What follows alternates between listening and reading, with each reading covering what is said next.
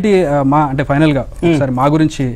ఏంటి ఏమన్నా చేస్తారా జనరల్ సెక్రటరీగా? పోటీ చేస్తా గెలవకపోతే? జీవితాగారం మీద గెలుస్తా గెలవకపోతే అనబాకండి నాకు సెంటిమెంట్ జీవితాగారం మీద. దేవుడు అండ ఉందా ఎవరో మీ దేవుడు అండ మీకుందా సార్ నా అండలో నా కొండలో ఎన్ని ఉన్నాయి వెనకాల నేను మీకు ఎట్లా చెప్తా సార్.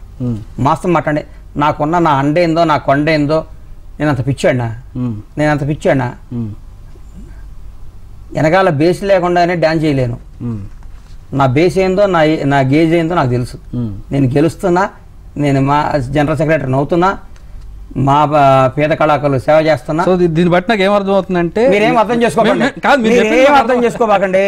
దయచేసి వెనకాల కొన్ని శక్తులుండి వెనకాల కొన్ని శక్తులుండి బండ్ల నా- స్కెచ్ ప్రకారం బయటికి తీసుకొచ్చి జీవిత గారి మీద పోటీ చేసి ఏ శక్తి జీవిత గారిని ఓడిస్తున్నారు అనేది ఎందుకు ఓడిపోద్దండి? జీవిత గారు పోడు ఆవిడ పెద్ద మనిషి నేను ఓడిపోవాలని మన చేతిలో లేదుగా.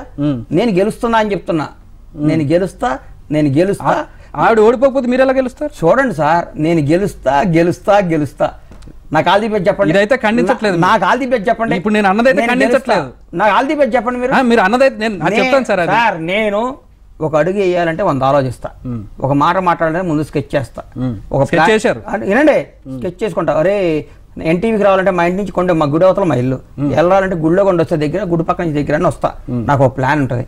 నేను పిచ్చి పిచ్చితనంగా పోయి మా జనరల్ సెక్రటరీ